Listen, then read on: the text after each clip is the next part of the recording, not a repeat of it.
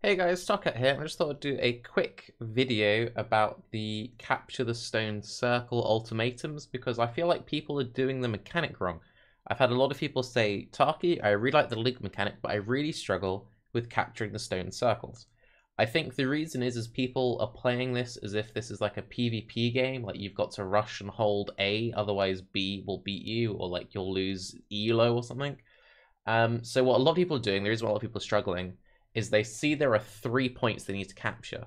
So as the player, they're like, oh, that's easy. I just stand on point A and I kill all the swarms of enemies. And then when that's finished, I then go to number two. And then when that's finished, I then go to number three. And then the next wave happens. And then now there's a fourth circle, right? Wrong. Um, you can do it that way. And it's how I do it on the easier levels. Um, but when it starts getting difficult, once you're in like wave six plus, when you start getting some scary map mods, when you start to feel pressure, instead of just standing still like a headless, well, not no, I'm gonna say the opposite. Instead of just standing um, still like a fish in a barrel, run in a circle like a headless chicken, and just do this. If you just run through them all, you still get completion. You still get bonus.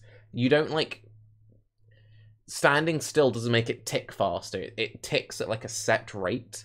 Um, so because of that, the only time you're losing, like you only lose time in these in between points, and it doesn't like lose progress. It's not like a case of you start charging it up, and then if you step out, it depletes back down. Any gains you have, you have permanently. So you don't need to be stationary. You can be completely mobile.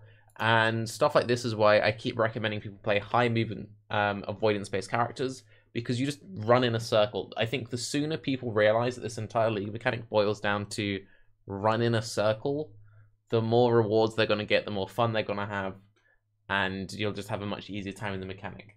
Don't stand still, just just run in a circle. People say the gas cloud is scary. No, it's not, because you'd always be moving. If you're ever standing still in Path of Exile, you messed up. Path of Exile is a game about just moving, and it's not about like being a super zoom zoom uh, player.